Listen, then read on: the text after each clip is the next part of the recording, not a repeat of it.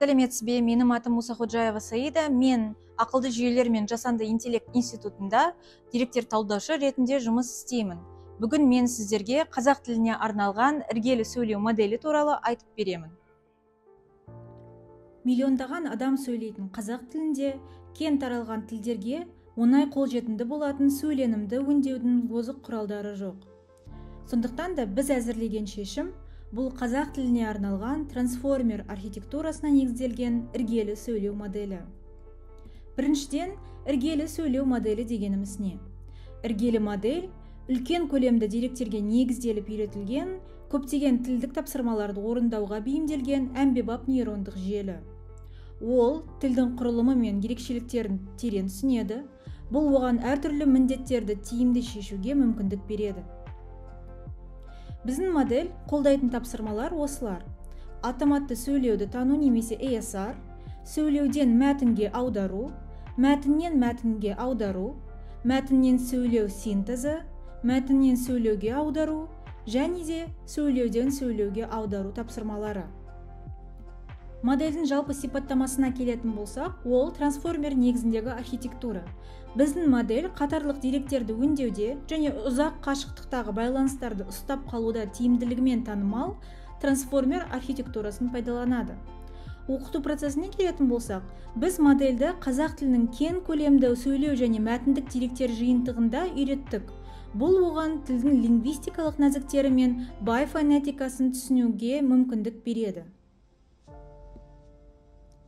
Деректер жиынтықтарына келетін болсақ ол ESR деректері KC2 яғни қазақ тілі сөйлеу корпусы 2 казак имо яғни қазақ тіліндегі мәтіннен эмоционалды сөйлеуге айналдыру жиынтығын қолдандық.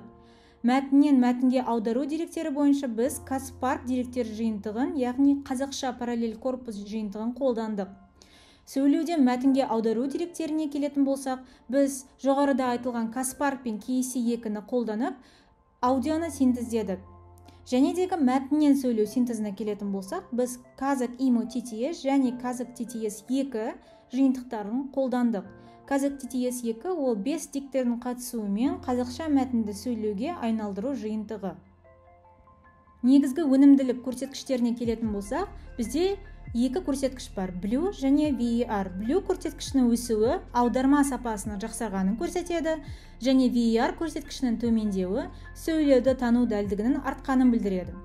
Біздің модельдің өнімділігі салыстырмалы негізбен салыстырғанда барлық тапсырмалар бойынша айтарлықтай жақсарды.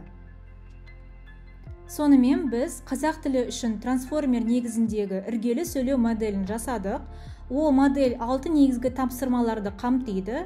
Біз сонымен қатар жоғары өнімділікті көрсеттік. Салыстырмалы негізбен салыстырғанда біздің модель барлық тапсырмалар бойынша өнімділікті айтарлықтай жақсартты. Және дегі қазақ тіліне қосқан үлесіміз ол біз модель қазақ тілін өңдеу технологиясында жаңа стандарт орнатып тілдің цифрлық экожүйесін дамытуға ықпал етті. Осымен біздің жұмысымыз аяқталмайды біз осы модельді әрі қарай дамыта береміз. Келесі көріскенше сау болыңыздар.